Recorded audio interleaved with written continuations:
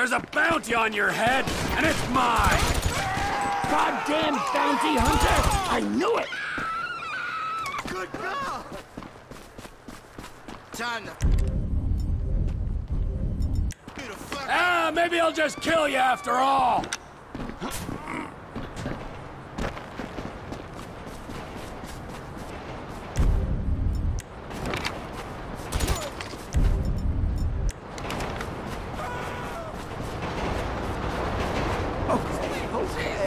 I give up.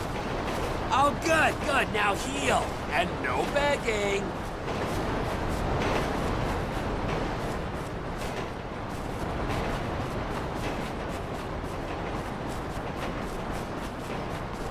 Are you gonna wait for me or not?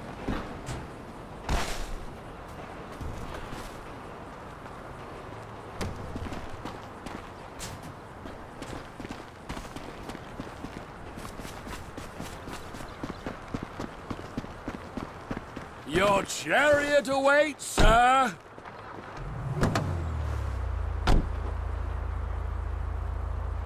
You don't seem in a huge rush to collect your blood money. You gonna play nice now, Granddad? I'd rather die fighting than surrender to the hypocritical laws of your oppressive regime. Uh, although you did, in fact, surrender. I took a stance, didn't I?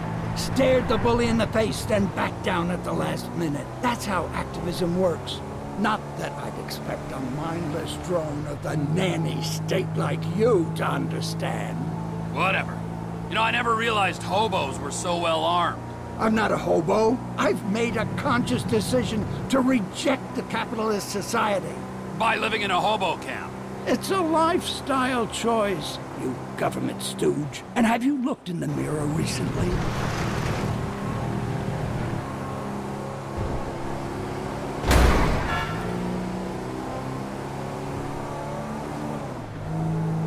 This discrimination disgusts me. I only just got out of jail for that sit-in protest outside the exchange in Liberty City. Such a sense of the power of group action until we all turned on each other. Hmm. What are they trying to send you down for now? I didn't pay much attention to your file. Of course you didn't. I assaulted a cop at an anti-globalization rally, beat him up with a fire extinguisher. And I'd do it again. Screw the police. Nothing but mindless stoolies of the totalitarian regime. You're preaching to the choir, Pops. What? You're worse than they are. A paid thug of a corrupt legal system rounding up agitators for the ruling autocracy? A puppet on a power trip. Who's got their hand up your ass. Whoa! Hold on there, Socialist Santa. If you want an anarchy off, I will take you down any day. I wreak indiscriminate mayhem on an hourly basis. And secondly, no one has a hand up my ass. Would you like to look? Listen, nobody's more anti-establishment than me, old man. I hate authority, so watch your tone. Oh, I'm sorry.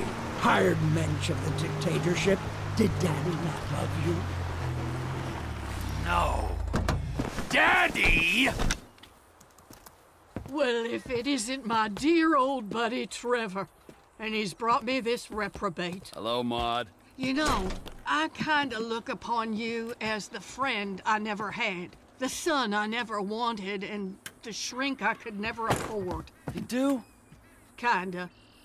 The pursuit of criminal men for profit is backbreaking, soul-crushing work. Oh, I can only imagine.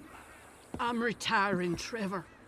I want a peaceful life, away from all this insanity and degradation. I want a picket fence, and a husband, and a dog named Skip. I want the dream, Trevor, and I won't let anyone stand in my way. Good for you, Maude. I wish you well on that quest. I'll find it, Trevor. I'll find it all. I'm a passionate woman. Goodbye, my boy. Goodbye, Maude. Be well.